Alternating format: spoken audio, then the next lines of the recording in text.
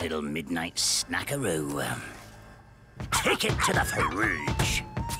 hey, there's a savoury treat that can't be beat. On the outside pastry, inside meat. Some like it hot, some like it cold. I like it both ways. Sausage roll!